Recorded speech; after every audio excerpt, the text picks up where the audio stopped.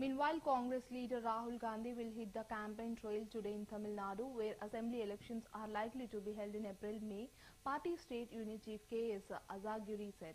He also asserted the present Congress-DMK alliance would continue for the elections and said it would be a welcome development if active politician Kamal Haasan joined the combine.